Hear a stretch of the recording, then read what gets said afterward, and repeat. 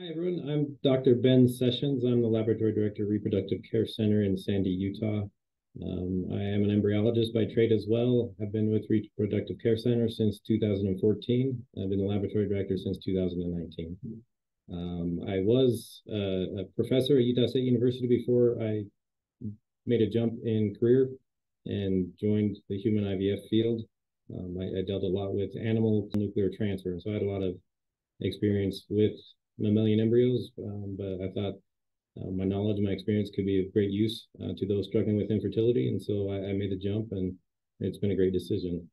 Um, and so I'd like to take some time today to explain embryo grading uh, to those who are going through the IVF uh, treatment. So you have better understanding of the reports you receive from the embryologist or even the clinical staff and help you know expand your understanding and, and hopefully make report's a little easier to digest. The first report for grading you'd be getting would be on day three.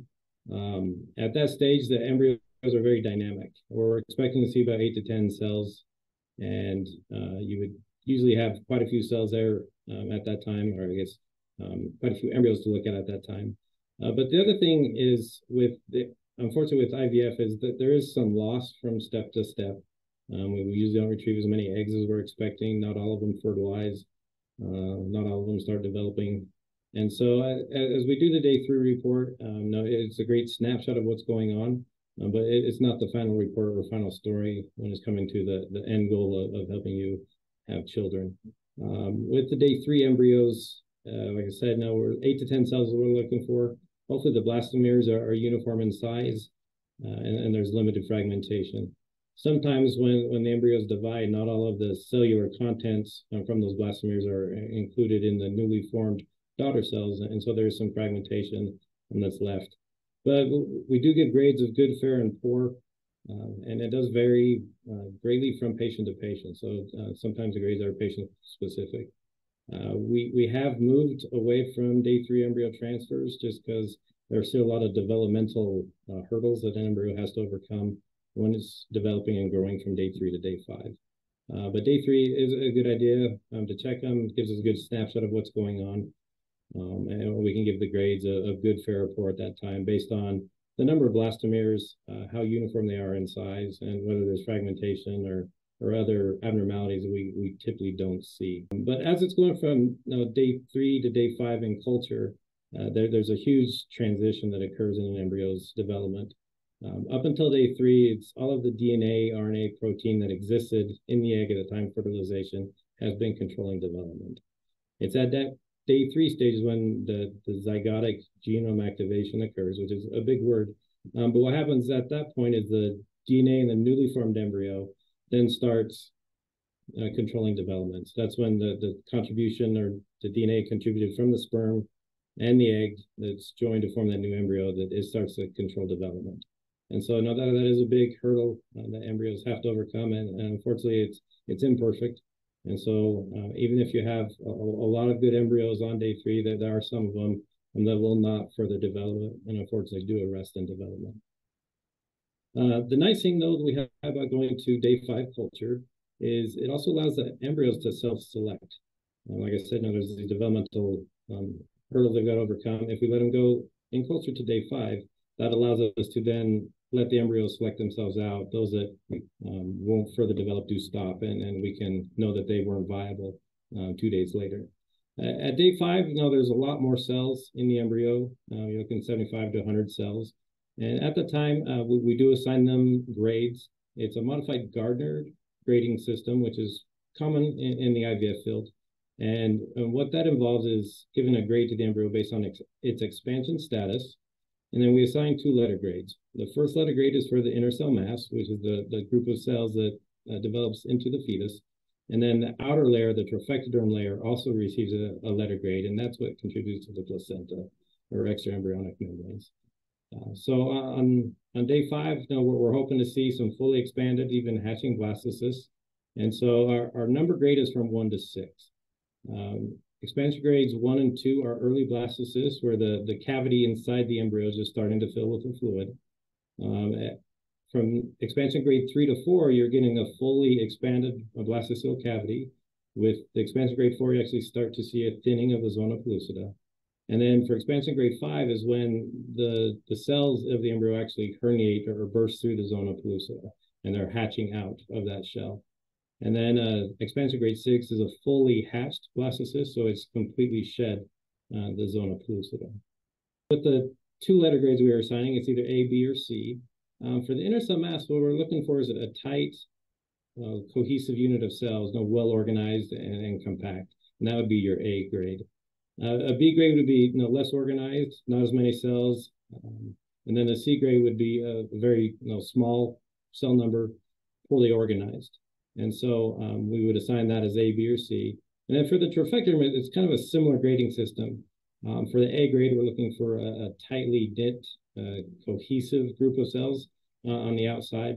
Um, want to be uniform in size and for them to, to be a large in number. For B, is they're not as well organized. There's not as many cells. There might be some larger cells there um, in the trophectoderm layer. And then with the C grade is there's there's few cells there, and, and they're larger in size and, and not very uniform. And so overall, you know, we we have those that grade for expansion grade, which is a number, and then the two letter grades um, for the inner cell mass and the trophectoderm. We also assign an overall letter grade for those embryos.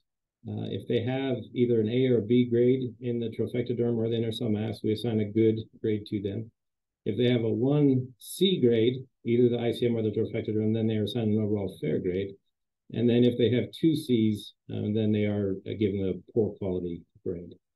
Uh, for our policy here at Reproductive Care Center, um, we, we do not freeze uh, poor quality embryos. Um, we don't see that they survive the freeze thaw process very well. Um, and so we do not utilize those embryos. Uh, but anything with a good or fair quality grade, uh, we, we do utilize whether for a fresh embryo transfer, uh, for cryopreservation, or freezing, or even um, pre-implantation genetic testing uh, for us to do the biopsy procedure on. Uh, but we we do see good results with, with good and fair quality embryos. I'd like to remind people that fair quality embryos still make beautiful babies. And, and it just gives us a chance to rank them based on morphology or how they look. And obviously, we want to give you the best chance of success. And so we will transfer the, the best looking or the, the highest quality embryos first, and, and then freeze the remainders. Typically, the majority of our patients do have extra embryos to freeze um, after the fresh embryo transfer. And so, you know, it, it's great that we've had advances in the technology that we're able to uh, freeze embryos with high success and have them survive the thaw with high success. And uh, we're, we're, talking 97, 98% uh, survival rate with the freeze thaw process. Uh, hopefully, you know, this, this uh, summary of the embryo grading procedure will help you understand uh, the reports that you will be seeing as you go through treatment. Uh, one question we have received is what do patients do with embryos remaining uh, following treatment or once they've completed their families? Uh, this is a very personal decision and it varies from patient to patient. Uh, I will discuss some of the uh, some of the outcomes of what people do with uh, their extra embryos. one is that they choose to discard the embryos. We, we do have consents that we send to you and sign to get your permission to do that. Uh, but we do take the embryos out and, and do uh, dispose of them or, or discard of them in a, a biohazard. And so then we you know, document all of the procedures that we've done to make sure that uh, we, have done everything correctly. Uh, another option is that some patients prefer that we release the embryos to them for disposal or, or, or discard or for uh, whatever they want to uh, do with those embryos. Um, again, there's a separate consent that we will sign or send to you for you for you to sign. And it would then we would set up a time to allow for you to come to the clinic and we will hand off the embryos to you in the straws or on the device that they're frozen. And then uh, you can take them home and, and, and, and do what uh, you feel best with, with those embryos. Uh, another option that, that is becoming increasingly more popular is to donate the embryos to other patients. Um, there, there are known embryo donors. And so if you know a couple that's struggling with infertility and, and, you would like to give your embryos to them to give them the opportunity to have uh, children and, and, complete their family, we can do that. Um, we also have an, anonymous uh, donor pool or embryo donation program so that you can donate your embryos to a reproductive care center where they will be um, given to some intended parents anonymously and so that they are then able to uh, create their families and, and, and, build their families with those donated embryos. Another question we received is how long do frozen embryos last? and really, in theory, as long as there's liquid nitrogen in that tank, those embryos remain viable. Um, we, we do have redundant alarms um, set up on our, our, our tanks. And know, we, we, we want to make sure that we always have liquid nitrogen in those tanks. And so, um, yeah, no, as long as there is nitrogen in those tanks, the embryos are viable. I think it was just recently some a publication put out where a, a child was born from embryos that were frozen 30 years ago. And so, you know, it's it's, it's remarkable that you know we, we can hold on to those embryos in that um, you know state for that extended period of time. But uh, fortunately, there have been advances in the technology, and we're able to. A lot of those embryos have been frozen for a long time and, and have a high success rate with those. Another question that's been asked of us is what is the difference between a day three embryo and a blastocyst? Uh, so blastocysts typically see day five, day six, and has many, many more cells. Uh, a day three embryos, uh, eight to 12 cells, uh, or eight to 12 blastomeres, and a, a blastocyst has you know, 75 to 100 cells and, and is much larger in, in, size as well as a, a, day three embryo. I talked about you know how it's an imperfect science, um, and you know, and we we try our best. We've got excellent culture conditions. Um, we have excellent excellent you know embryologists that are, are well trained um, that take fantastic care of your embryos. Um, the, the hardest thing that we face as embryologists is, is when we have a, a bad outcome or bad development. Um, those are the, the more challenging phone calls that we have to make when we will call a patient to say that there's nothing to freeze um, or, or, nothing to biopsy. Uh, unfortunately, it, it is an imperfect science. Um, you know that we we don't retrieve all the eggs that we expect. Not all of them fertilize. Not all of them start developing. Not all of them make the blastocyst stage. Um, but I want to give you peace of mind to let you know that we do everything we possibly can to give your embryos a, the greatest chance of survival, um, the greatest chance of, of, of, being a successful cycle for you. Um, but you know, unfortunately, this is an imperfect science. Um, but no, we do do our part to give them the best chance to reach the blastocyst stage and, and to be utilized or, or used for an embryo transfer for genetic testing or, or for cryopreservation. Well, thank you everyone for watching this video. Uh, we did we did this video uh, in celebration of National Infertility Awareness Week. Uh, hopefully it was informational for you. Um, and know, we, we appreciate the time that you took to watch this. If you do have any questions, uh, please post a comment uh, below our question below in the comment section and, and we will get back with you. Um, and I just want to let you know that no, we are on your side. We are an integral part of your team and we will do whatever we can to, to help you reach your, your family goals.